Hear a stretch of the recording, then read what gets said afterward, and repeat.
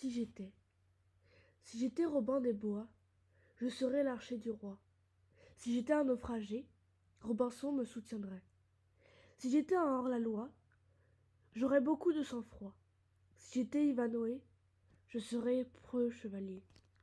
Si j'étais David Croquette, je serais chasseur de bêtes. Je ne serais plus l'enfant que ma mère aime aborder dans son petit lit douillet. Heureusement que j'ai neuf ans.